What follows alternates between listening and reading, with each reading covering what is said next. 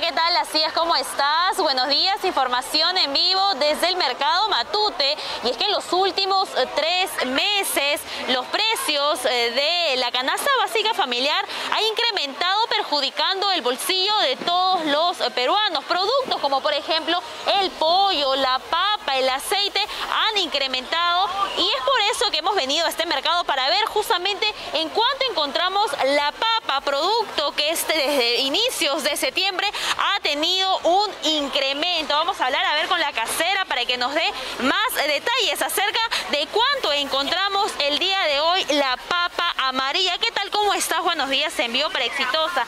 Coméntanos, ¿qué precios encontramos la papita? La papa amarilla está 7 soles. 7 soles. ¿En cuánto antes lo encontrábamos? 3.50. 3.50. Ahora, ¿qué alternativas lleva la ama de casa quizá porque 7 soles es bastante, les afecta al bolsillo directamente?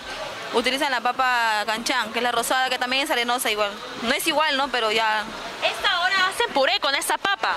Claro, algunos hacen puré con eso, porque es muy caro, le sale el otro. pues. Muy caro le sale la papa amarilla. Ahora, ¿qué es lo que dicen las amas de casa cuando vienen a comprar y cuando se dan por la sorpresa que el precio de la papa sigue en aumento? Se, se asombran y, ¿no? Se reniegan a veces porque piensan que nosotros lo subimos. Somos, piensan que nosotros lo subimos, pues, ¿no? porque de un día para otro sube. Pues un día está 6, el día siguiente está 7 ya. Por eso. Han reducido también, ya no llevan un kilo, llevan medio kilo quizás. Claro, ya llevan menos. Ahora, otra salida que hemos visto también es la yuca, ¿verdad? La yuca que también puede reemplazar a la papa. ¿Cuánto está la yuca? 4 soles. Cuatro soles. Ahora, ¿cuánto estaba la yuca? 3 soles. Tres soles, un precio cómodo aún para el bolsillo de las amas de casa. No ha subido mucho, ¿no? Está casi igual por ahí nomás. La yuca, bueno. Las papas sí han subido. ¿Y las ventas? ¿Cómo van las ventas hasta el momento? Claro, un poco bajo porque la gente ya no, no compra mucho, pues, ¿no? O sea, por lo que está caro ya no compra mucho, la, la gente ya no, no lleva mucho, pues, ¿no? Lleva poco, medido nomás ya. Bien, muchísimas gracias. Esto por un lado. Tenemos por un lado, Karina, el tema de las verduras, los tubérculos, pero también es importante saber, ya que estamos aquí en el mercado, vamos a caminar un poquito para conocer cuánto está el precio también del pollo, que sabemos que hasta la semana pasada llegaba alrededor de los 11 soles. Hoy en día lo encontramos a 9 soles el kilo y por eso hemos llegado también a este puesto.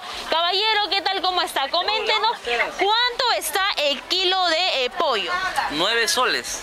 9 soles. ¿Cómo va la clientela? ¿Cómo responde? Bueno, sí, está habiendo más aumento del, del consumo eh, a comparación de hace dos semanas que estaba más caro. Entonces este, están llevando un poco más. por- Ahora, en estas semanas que estuvo caro el pollo, ¿qué era lo que llevaba? ¿Qué otras alternativas encontramos que el ama de casa puede venir y comprar? Bueno, el pollo tiene muchos cortes. Tiene piernas, pechos, tiene muslitos, tiene filetes, dependiendo cómo la ama de casa quiera, quiera hacer su, el- la comida del día, ¿no? Ahora, para darles tal vez tranquilidad a las amas de casa, el pollo va, tiene tendencia a la baja, a la alza, se va a mantener. Ahorita ya está su pico bajo, ya no va a bajar más. Es lo que nos han comunicado. De que va a subir, va a subir. Ya será de alguna semana, en octubre ya está subiendo de nuevo. ¿Y esto a qué se debería, caballero? A que los, los alimentos están muy caros y no quieren producir, pues no. No quieren producir y están produciendo mínimo nomás. Ahora, las ventas esos días, ¿cómo han estado las ventas?